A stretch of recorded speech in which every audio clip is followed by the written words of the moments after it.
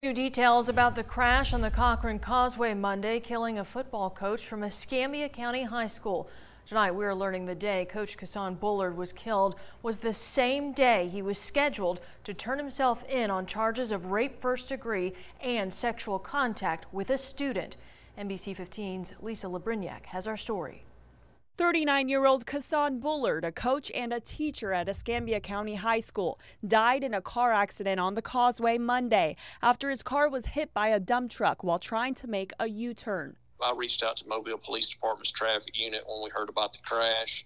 Uh, and, and, you know, obviously they knew about the charges because they were listed in the computer when they ran his information. Escambia County Sheriff Heath Jackson says Bullard was a wanted man facing charges of rape in first degree and sexual contact with a minor. We received information uh, in June, uh, actually a complaint from uh, the uh, Escambia County High School in Atmore, Alabama, that an um, allegation had been made of an inappropriate uh, sexual relationship between a uh, coach slash teacher uh, and a student during the course of the interviews.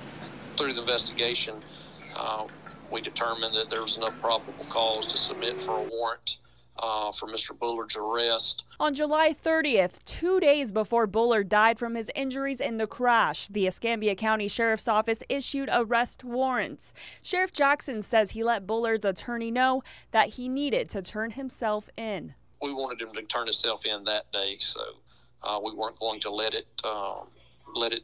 I guess kind of mingle out there. We wanted to go ahead and take care of it. Now there are questions about the timing of the crash. We feel that it'll eventually, you know, it'll come out. Um, you know, if there was something that was, you know, inappropriate uh, or something intentional that was done, I should say, uh, in that crash. In Atmore, Lisa Librignac, NBC 15 News. Now, the investigation into the crash is still ongoing. The warrants will be recalled and the case will eventually be closed.